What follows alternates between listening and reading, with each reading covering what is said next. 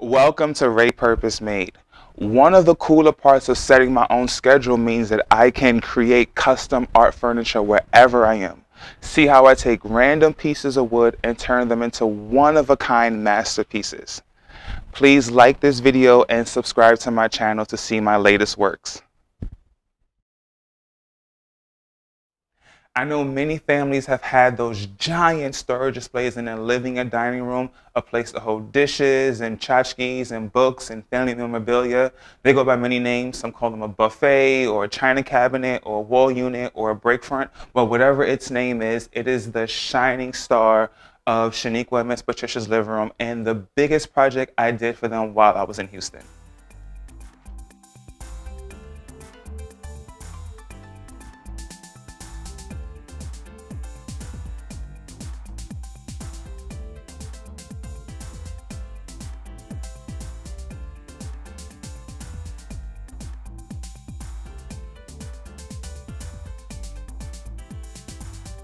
Every day, I'll find a way. Celebrate and be so grateful. In sunshine, I'll take the time to share a smile, talk a while. Usually when I create a project, I spend a lot of time just looking at it, seeing what are the extra special notes that I can add to it so that it is the best project it can be. Now when making this break front, I didn't have as much time. I had a hard out. I was leaving town, but I still made sure I put some special things in it that make the project even more important and even more accessible. Uh, firstly, the break front for the break front, the lower part, the cabinet, I wanted to make sure that whenever Shanequa and her mother move, that the movers don't lift up the cabinet and accidentally pull off the cabinet top. So I added a couple of handles on the front of both sides so that they can grasp onto that when lifting.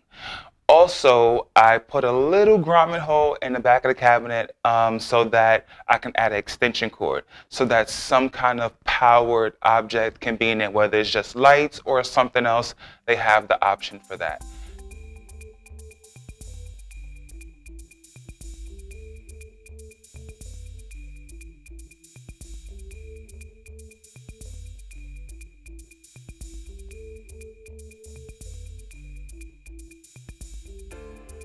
My life, I see the light, and every day I'm better. And late at night, I feel light.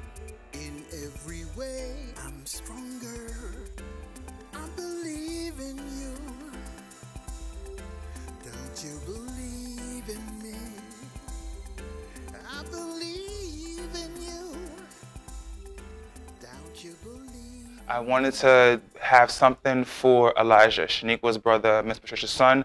I wanted to, in memory of him, put his birthday, 328, at the very bottom of the bookshelf.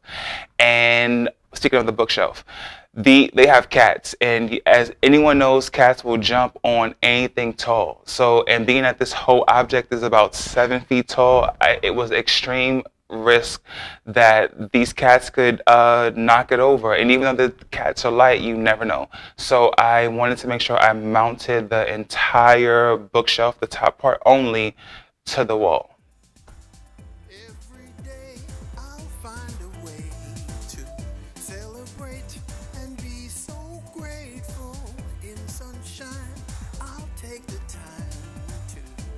Share a smile, laugh a while, show my style for everyone.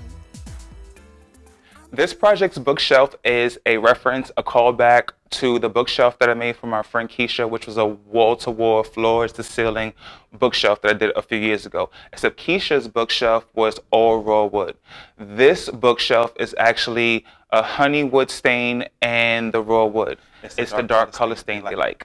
So what I did was went back and forth with areas that were going to be the dark stained and areas that were going to be just the raw wood and raw wood with some wood burn. Obviously the shelves can just be raw wood because you're going to put books and etc. on top of it.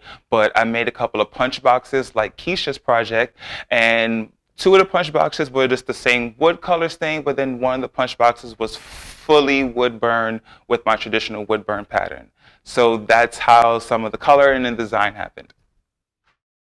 Thank you for watching my video. I hope you're enjoying it so far. Stick around, there's a little bit more.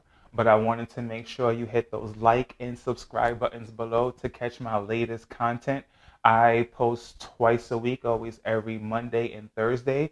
And if you wanted to follow me on social media or get your very own Reypurposed piece, you can find me on Instagram, Facebook, Etsy, and Gmail under Reypurposed. Thank you and keep watching. Miss Patricia, how are you doing this, afternoon? Oh, I'm extremely excited. I am standing in front of a beautiful piece of furniture that I can see being part of my family's legacy forever. I'm sharing this moment in time with my daughter, who just happens to be dear, dear friends with Jose, aka Reypurposed, who we flew on down to Houston to spend some time with us to build us custom made furniture to make our home look like our home. We could not be more grateful. This piece is beautiful. It will serve as a buffet. There is storage underneath. There are shelves that we can use for accent pieces. We have some really special artifacts that we want to put there that have been given to us and we've had no place to showcase it. Uh, it's just been really fantastic, really fantastic experience. Um, I don't know, do you want to add anything there, Miss Shanequa? Uh, actually, no. It's uh, mom got it, so Yeah, kind of perfect. absolutely. I'm stronger every